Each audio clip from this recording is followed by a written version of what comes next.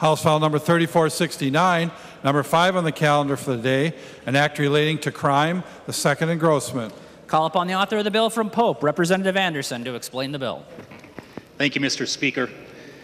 Members, today I bring forward House File 3469, known as Laura's Law. It's a result of a tragic incident that happened back uh, in my district last fall. A young woman, 18 year old Laura Schwendemann, uh, disappeared on the evening of October 14th last fall. And she was last seen on uh, security camera footage at a gas station uh, in Alexandria later that evening. Her body was finally discovered some 12 days later by a farmer operating his combine in a cornfield.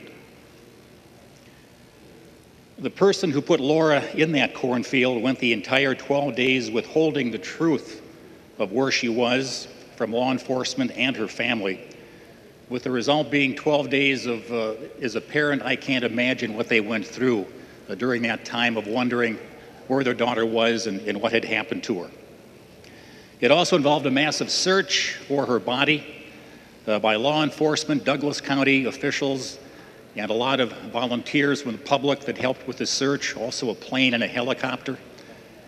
And uh, the defendant in the case uh, never confessed to how or where he had put Laura's body until after she was found when he did confess. He finally, after finding the body, told authorities that the two had been out that evening and had been doing uh, methamphetamines. And when Laura became unresponsive, he stopped the car in the country alongside a cornfield, picked up her body, and uh, carried her 18 rows deep into the cornfield, and, and he, he just left her there.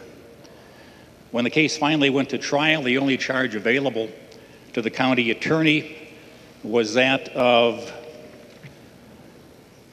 interference with the, with the death and uh, misleading authorities of the coroner as to where the body was located. And that's a gross misdemeanor currently the family, and I think a lot of people in the area as well, were surprised, and I would say almost shocked, at the, that the charge for that crime was so light.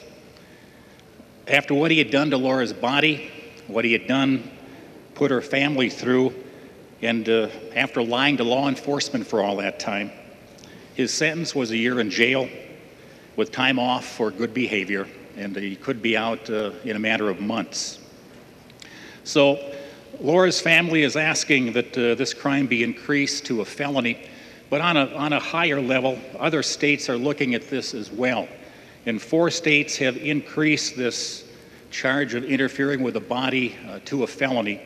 Those states are Wisconsin, Arizona, Oklahoma, and New York, and a fifth state, Colorado, is considering such an increase in, in the charge.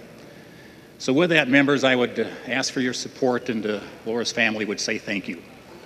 There's an amendment at the desk. The clerk will report the amendment. Lesch moves to amend House File Number 3469, the second engrossment, and the amendment is coded A3. Call upon the author of the amendment from Ramsey, Representative Lesch. Thank you, Mr. Speaker. I'm withdrawing the amendment. Representative Lesch withdraws the amendment. There being no further amendments to the desk, the clerk will give the bill its third reading. Third reading, House File Number 3469. Third reading. Discussion, discussion to the bill. Seeing none, the clerk will take the roll.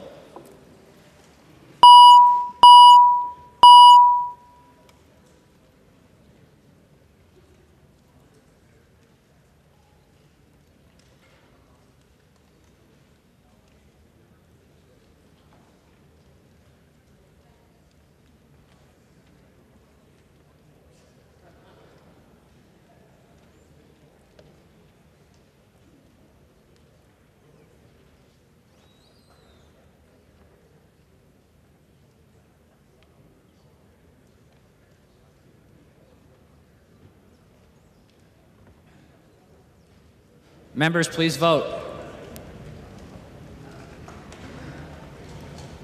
The clerk will close the roll.